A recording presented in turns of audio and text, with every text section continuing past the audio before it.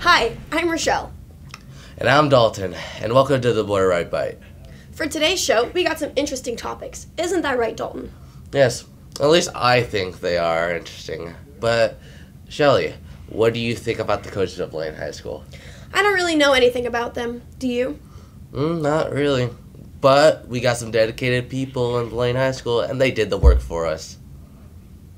Well, let's take a look. Borderite baseball is savvy, and hardworking. Borderite track is wonderful. Borderite girls golf is epic. Borderite soccer is so fun. Borderite softball is rising. Borderite tennis is remarkable. Borderite golf is incredible.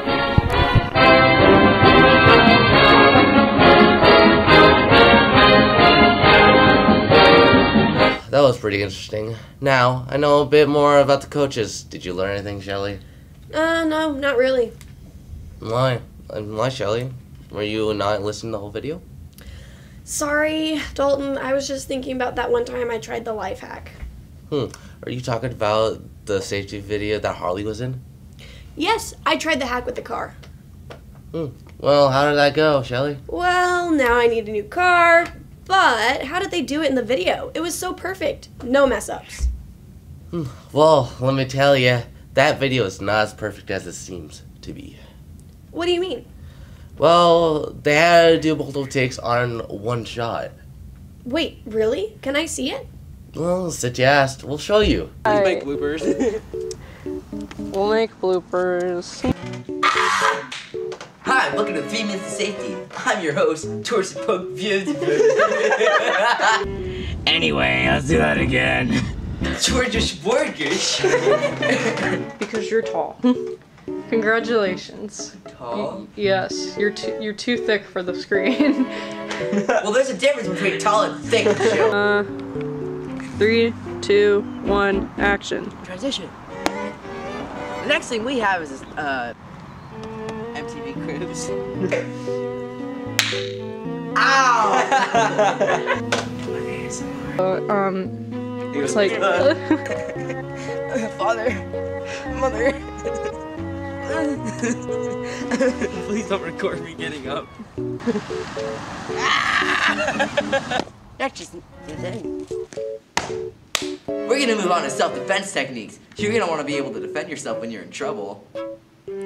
Do What do you think of that video, Shelly? Wait, where's Mr. Grambo? Uh, what do you mean, where's Mr. Grambo? Well, isn't he the king of safety in Blaine High School? Well, he didn't you watch the safety video? He wasn't in it. Well, I was hoping he was in the bloopers. No, because he's in a different video. Wait, really?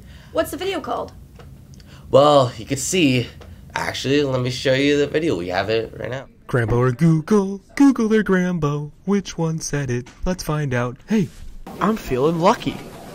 Hello, and welcome to Grambo or Google, where we take a three or four word phrase and ask the wonderful Mr. Grambo to complete said phrase in the form of a question. And then we take that same three or four word phrase and we type it into Google, and we find what millions of people have also wondered. And we compare the two and ask people to pick who asked which question. Let's see what happens.